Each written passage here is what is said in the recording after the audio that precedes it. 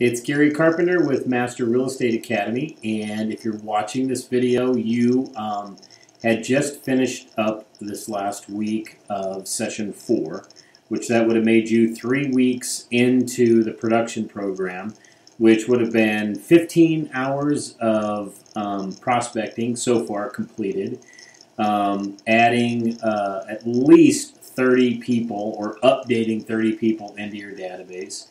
That would have been 45 note cards sent and um, at least four, um, if not six, coffee appointments attended.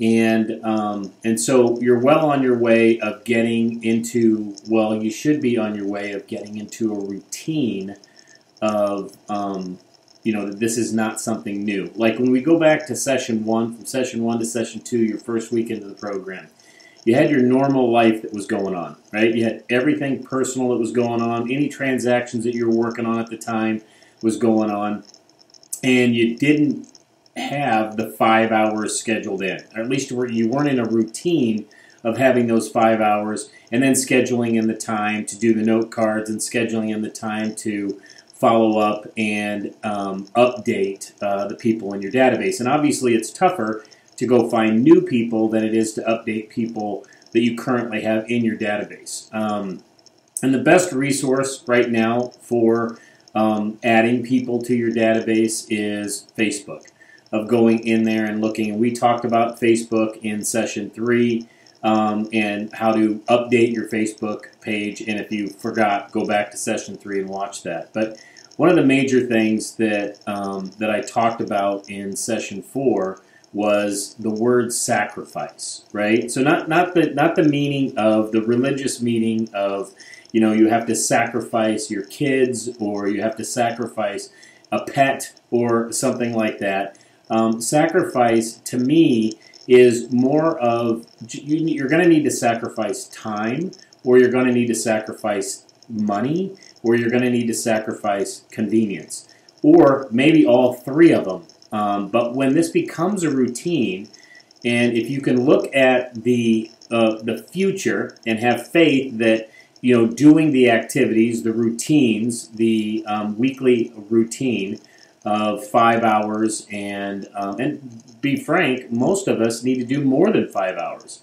You know, one of the things that we had talked about in the class was. Um, you know, it, how many hours are you dedicating to your real estate business?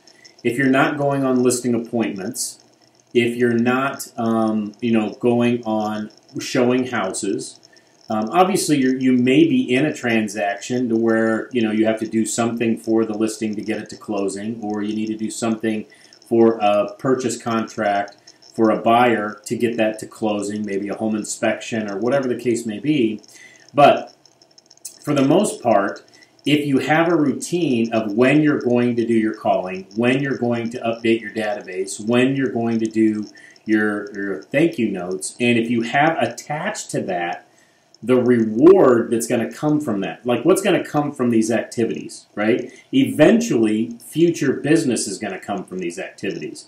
So, in order for that to happen, the future business, you're going to have to sacrifice on the front end, and that could be sacrificing time with your family. That could be um, getting out of your comfort zone and sacrificing convenience, right, of sitting down and making phone calls. You may have to sacrifice a little bit of money because you may need to go get Mojo or whatever you're going to have to invest. You know, like we do, I do the cold calling, but I've sacrificed money in paying somebody else to do the calling for me. Um, that's so. So when I say sacrifice, you're going to have to sacrifice. We all sacrifice. Like right now, up to this point, you have sacrificed future business by not doing the activities. And I think the biggest challenge is most of us is that since it's future business and we don't actually see it and we're not losing something, like when you um, have call somebody and they say, "Hey," you know, or you go on a listing appointment and and and you do all the work to get to the listing appointment, and you go on the listing appointment, and then they choose not to use you. Well, you lost something there, right? That's I mean that's concrete that you lost that. But a lot of times we don't see all of the business that we're losing because we're not sacrificing up front of you know doing the prospecting and doing the um, follow up and all of that type of stuff. So my suggestion for you, I'm hoping that you know those of you that have made it this far so far, because I'll just tell you right now, many people have not made it to session four.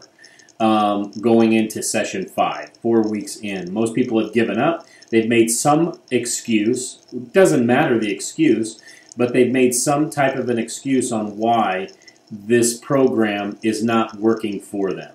And um, so, anyhow, uh, the other things that we covered in um, in session uh, four was uh, let's see here. We covered uh, hit ratio of basically you know talking about um, you know what uh, it's a numbers game.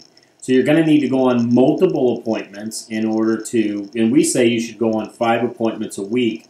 Um, three are probably going to um, not list with you, and um, and hopefully you get you know two of the five. And um, how to get your database to refer you more is another piece that we covered.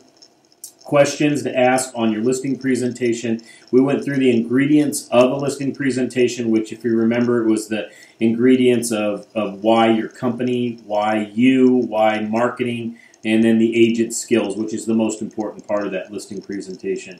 We went over pricing presentation. We went over the do's and don'ts of pricing. We went over to how to present price like a CMA. Um, we went over uh, um, uh, the uh, really mainly the in, in, session four was the components of the listing uh, listing presentation, and then I presented and showed you an example of a good listing presentation. So if uh, you need to get updated on that stuff, please go back and watch.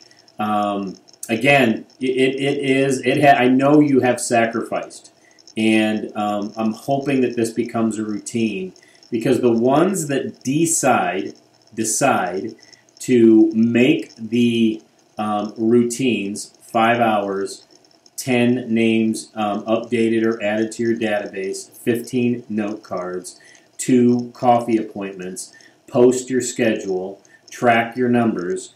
If you make those a, um, uh, a habit, um, long range, you are going to be successful in this business. And you're going to be able to write your own ticket no matter where you live, no matter where you move, no matter what kind of market that it is. So, um, anyhow, I love you. And if you need anything, uh, like always, down below this video is my phone number. You can text me, you can email me, all of that type of stuff. Um, this week, I would like to start to set up um, meetings with you, Zoom meetings, one-on-one, just to talk about you know where you're at with your business right now, where you're at with um, with the program, the challenges that you're having, and that type of stuff. So um, also in this um, uh, email is a link to um, my schedule. So uh, take a moment, um, look at your schedule and uh, and and schedule an appointment with me. It usually takes about 45 minutes uh, for the meeting, um, give or take a little bit. So again, have a great week. I'll see you at session five, and uh, we'll talk to you soon.